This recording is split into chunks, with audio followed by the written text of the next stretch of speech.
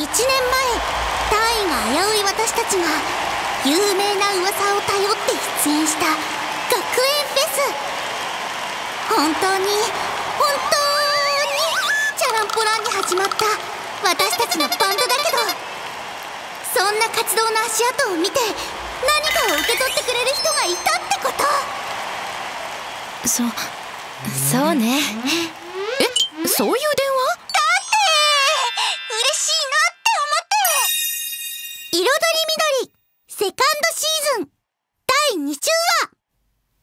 シングフォーアリーズ。ンそれってめちゃくちゃ嬉しいことだなって。本当だよね。あれからもう1年か。私は学園フェス今回初めてですから。ななな何とぞお手柔らかに。いやまだ全然そういう時期じゃ。私も最初はその本当に真面目なのかなって感じちゃいましたけど今はもうこのスタンスが正しいんだって思ってます。はい私も。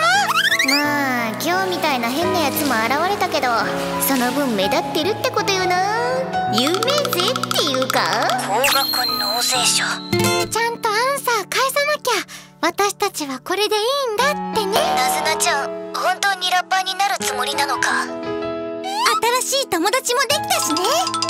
お姉ちゃんに七瀬さんになでちゃんはなちゃん小野ちゃん今日は生徒会の人たちも。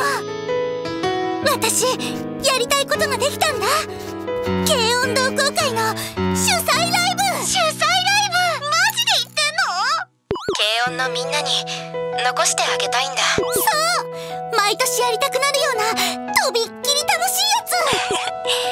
先輩らしいです。生徒会の人たちにも相談してみてさ。どうやったらできるか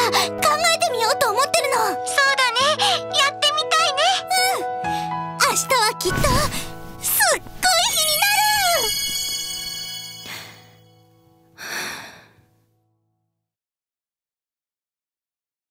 ABC フォリー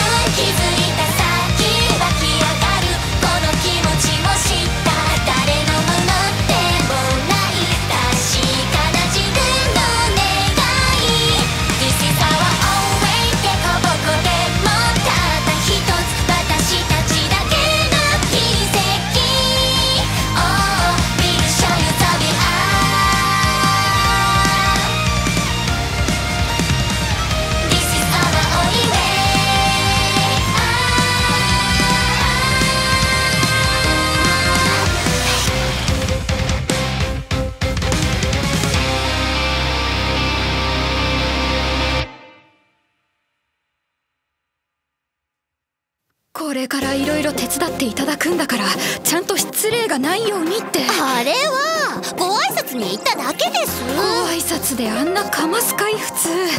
引っ越しだったらそば持ってくとこだよ。私ラッパーなんで名刺交換みたいなものだと思いません？あの喧嘩は良くないかさよちゃんいいかい？これは喧嘩ではないんだ。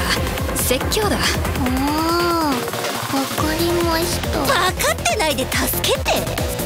次回「彩り緑」セカンドシーズン「ハイヤーグラウンド。